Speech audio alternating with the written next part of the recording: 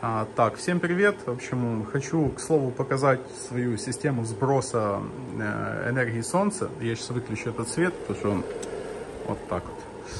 А, в общем, это моя солнечная система.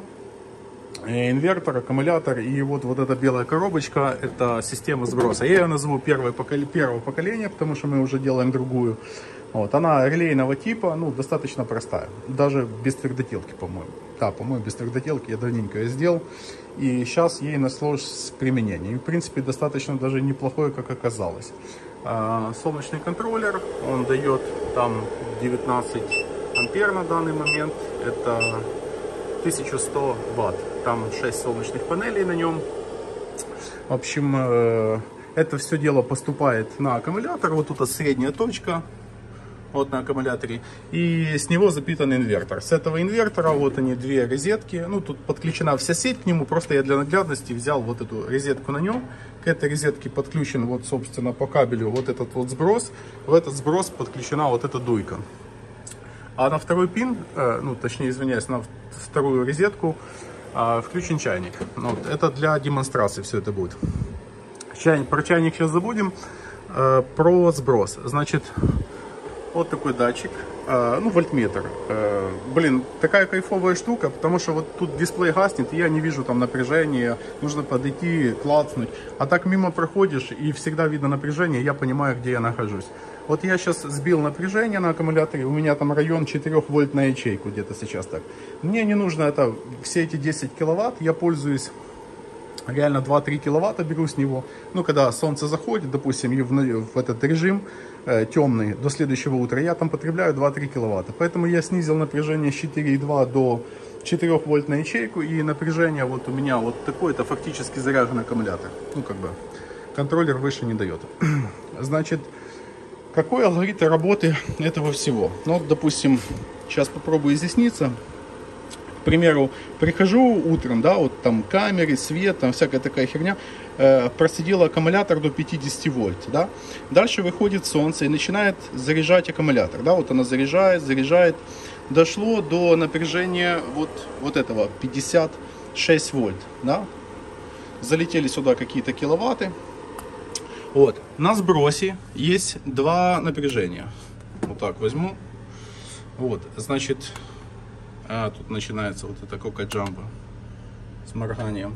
Я не знаю, как вам показать, но тут 56, 56,3 вольта. Это э, нижнее напряжение и верхнее 57. Вот сейчас запишем эти числа. 57 вольт и 56,3. Вот это диапазон.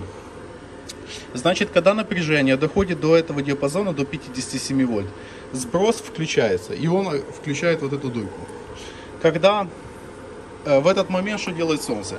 Оно через контроллер заряжает аккумулятор, и вот это напряжение не падает, потому как оно компенсирует потребление вот этой дуйки. А, когда солнце заходит уже к вечерам, ну, либо туча, когда заходит, ну, в идеале, конечно, вечером, то от э, солнечного контроллера электроэнергия уже не заходит, либо заходит в меньшем объеме. И напряжение начинает просаживаться. Просаживается оно до второй точки. Между вот этими двумя напряжениями 0,7 вольта. Я так задал. Можно больше, можно меньше. 0,5 можно поставить. Там, в зависимости от мощности дуйки. Ну, вот, вот, вот это реальная проблема вот этого контроллера, почему я хочу от него уйти. А, напряжение начинает идти вниз, контроллер ловит вот это напряжение и просто отключает дуйку. А, как это выглядит на практике? А, я приезжаю на работу где-то там район обеда, либо после обеда. А, ну, там пока закупки делаю, пока всякие такие там звонки и прочее. Короче, приезжаю я во второй половине дня.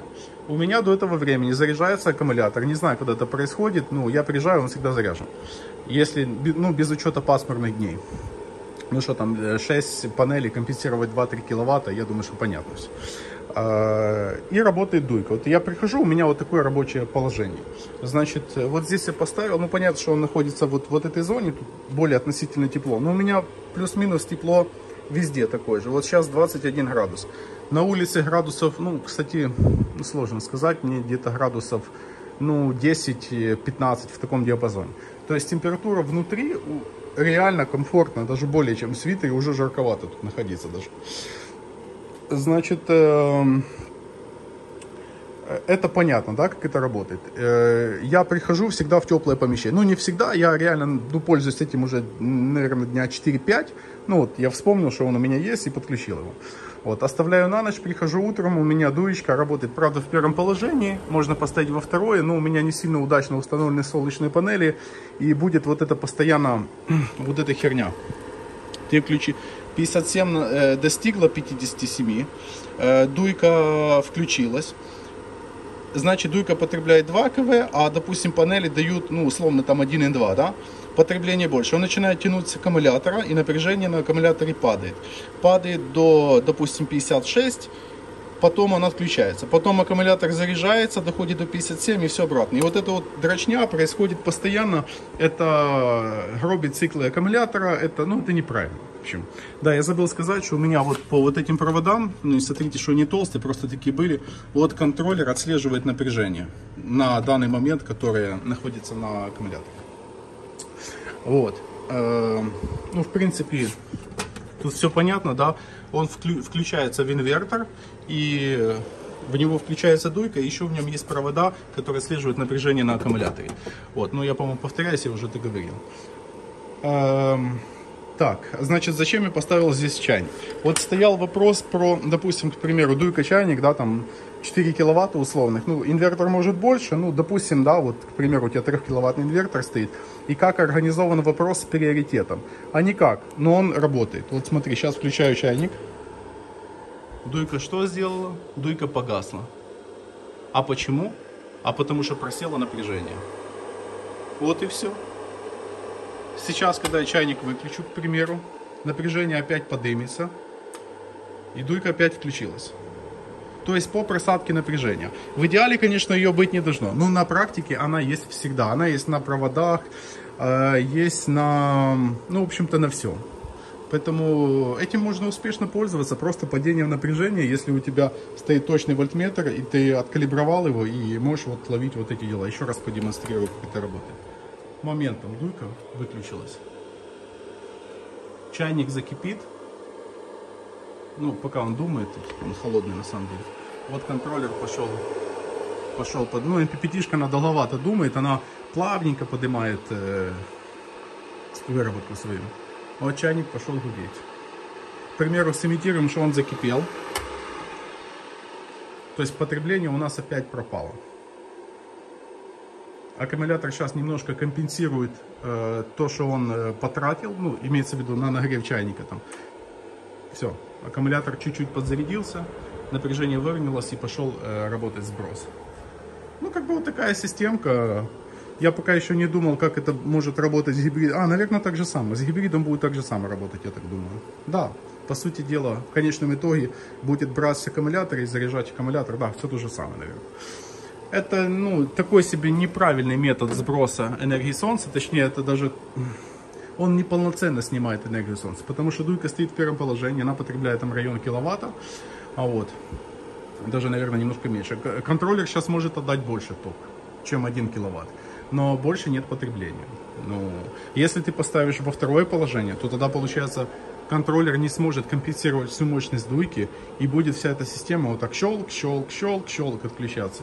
Вот. И, ну, тогда ты сможешь собрать всю мощность. Ну, вот эти вот удары по системе постоянно, это неправильно. Плюс аккумулятор, вот этот вольт, да, который даже больше, потому что просадка будет на нем, он будет гулять слева вправо, и, ну, ничего хорошего от этого не будет, э, от этой постоянной коммутации нагрузки.